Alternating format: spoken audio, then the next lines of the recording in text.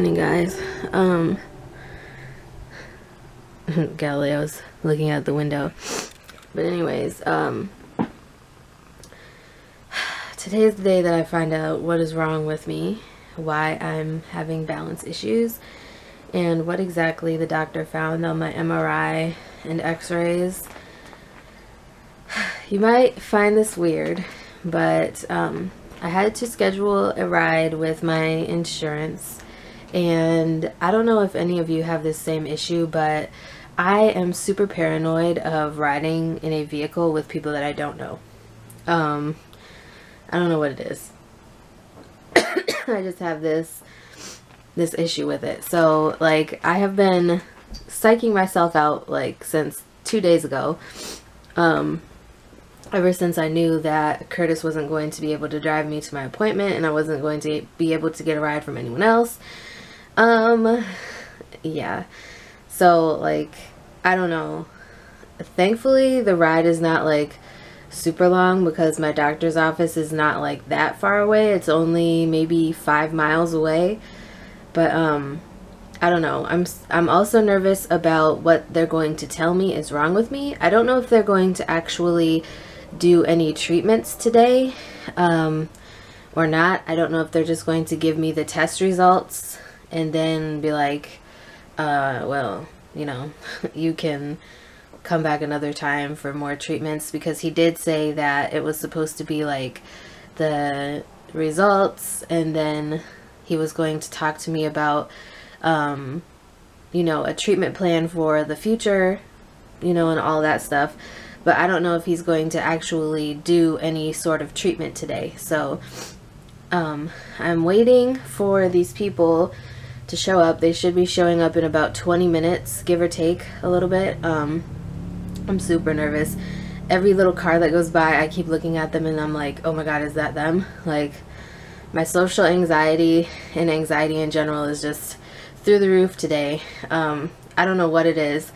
I do not like being in a car with somebody that I don't know and it's just like super uncomfortable because I feel like it would be super rude, you know, if somebody's talking to you and you don't like talk back to them. Obviously, I feel like that would be super rude.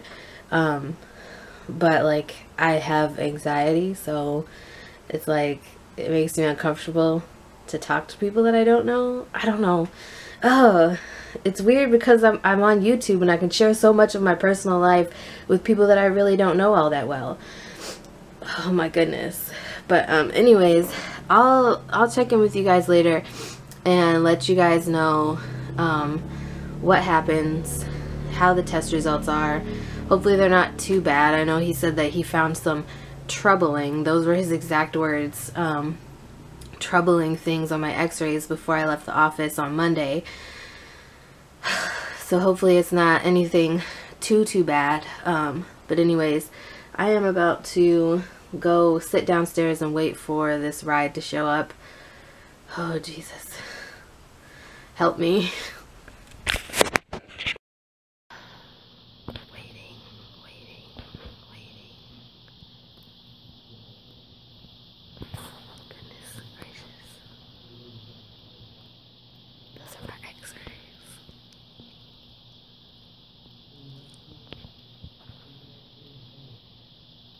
But anyways, yeah. I just want to go home.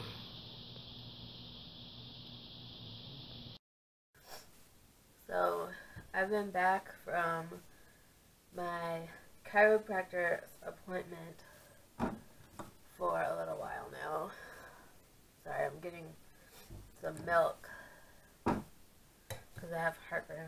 So, trying to hopefully rid myself of this terrible heartburn. Um, first of all, um, I did not get good news whatsoever because it basically told me that I have degradation in my spinal cord, like really bad. Um, my spinal cord is all degraded and stuff. And don't mind the mess back there from Peanut's toys, okay? The kitchen is clean, I promise. It's clean, I promise. It really is clean. I promise. Okay? But, uh, anyways, um, I went over, like, my x-rays and stuff. I showed you, like, the first three, and the first three were basically, like, my head and my neck. my neck, he said, was, like, he said my neck was pretty normal, but the only problem with my neck was that, um, most people, they, their neck, when it degrades, like, spinal degradation is something that's part of the aging process.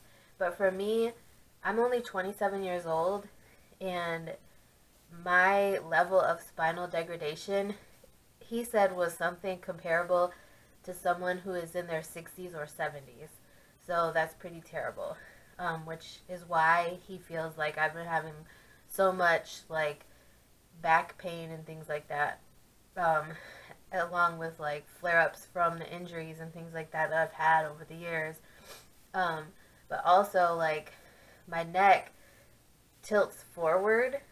Like, the spinal cord, when it gets to my neck, tilts forward. And most people's, when it degrades, tilts backwards.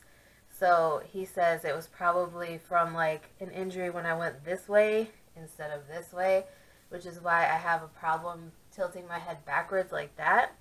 Like it hurts to do that a lot of times.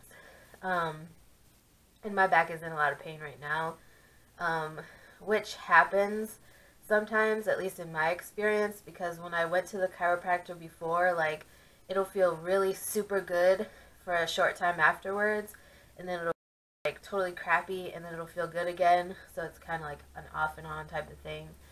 Um, basically, today I got treatment and part of their treatment was freaking awesome because I got a deep tissue massage um, as part of my treatment, and that was freaking amazing.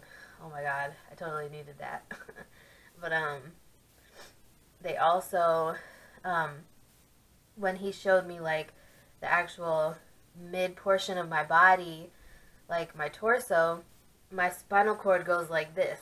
So it like makes a little S shape. And he said that it's probably been that way my entire life um, because one of my legs is shorter than the other and one of my hip bones is smaller, like a little bit smaller than the other one.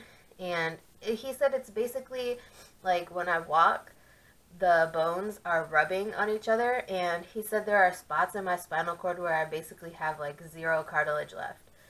And he said that even with like some of the treatments that he plans on doing, there's nothing that you can do to reverse it. And he's saying that if I don't like if I don't at least try to do something about this, then um you know, I won't be walking by the time I'm 30 or 35. So I've been kind of struggling with that. Um, you know, it's like a big part of your freedom. I don't want to get emotional.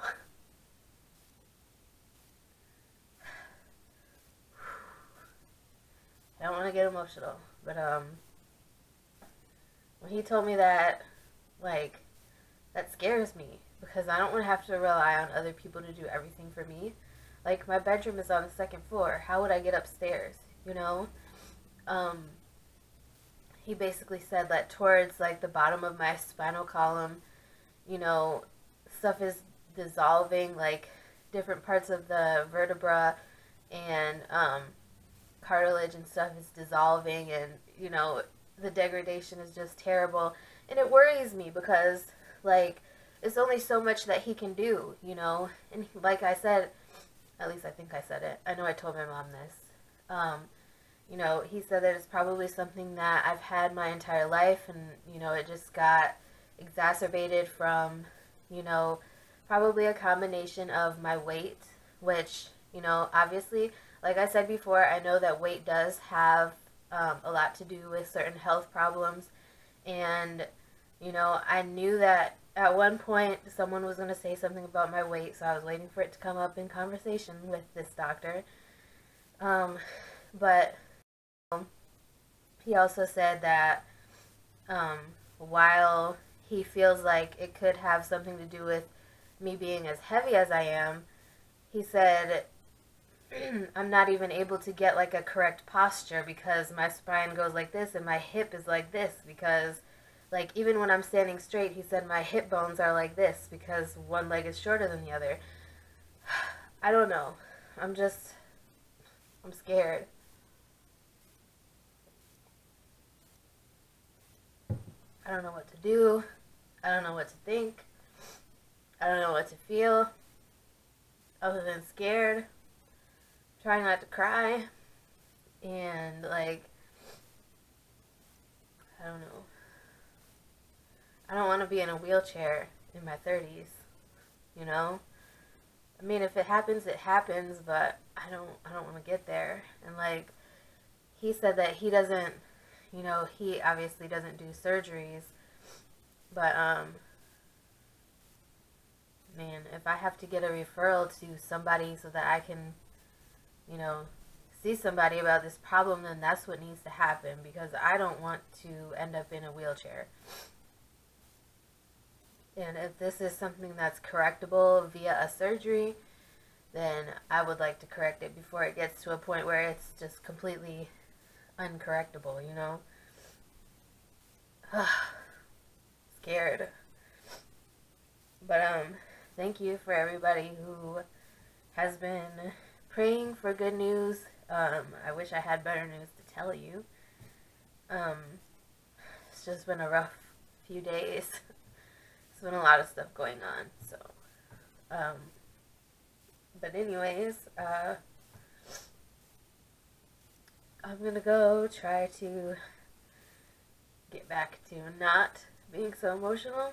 And I'm gonna drink this milk so that I can not freaking have heartburn because heartburn does not need to be another added thing on my plate right now. so I will see you guys later.